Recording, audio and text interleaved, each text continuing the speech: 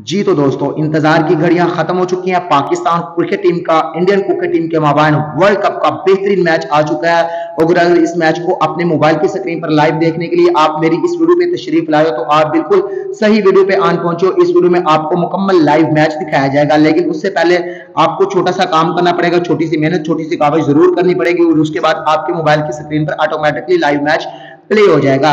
आपने करना है कि आपने सबसे पहले मेरे फेसबुक पेज को फॉलो कर लेना है। फेसबुक पेज को फॉलो करने के बाद कमेंट्स बॉक्स चेक करना और कमेंट बॉक्स में लिखना है, Pakistan V S India live match ये काम करने के बाद आपके मोबाइल की स्क्रीन पर ऑटोमेटिकली लाइव मैच प्ले हो जाएगा।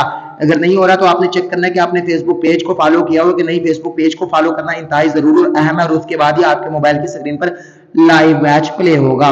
उसके बाद अगर आपको एप्लीकेशन से देखना चाहते हो तो आपको एक एप्लीकेशन का लिंक भी डिस्क्रिप्शन में प्रोवाइड कर दिया जाएगा। आपने सिंपली उस लिंक पर क्लिक कर प्ले स्टोर से एक छोटी सी एप्लीकेशन डाउनलोड कर लेनी है जब इंस्टॉल करोगे तो वहाँ पर आपको क्रिकेट के बहुत ज़्यादा चैनल देखने को मिलेंगे। आपने किसी चैनल पर भी जाकर पाकिस्तान और इंडिया का लाइव मैच देख लेना है।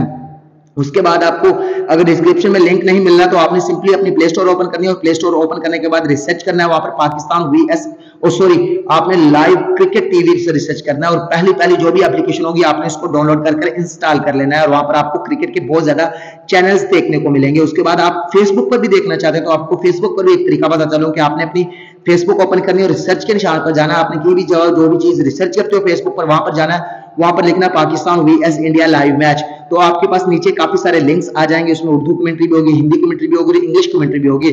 आपने जो कमेंट्री में सुनना चाहते हो, आपने वहाँ पर जाकर क्लिक करना है और वहाँ पर लाइव मैचेस इंजॉय कर लेने हैं। उम्मीद करते हैं कि पाकिस्तान क्रिकेट टीम यहाँ पर बेहतर परफॉर्मेंस दिखाकर वर्ल्ड कप का तीसरा मैच भी अपने नाम करेगी। इस उम्मीद के साथ इजाज़त चाहता हूँ। अल्लाह हाफिज।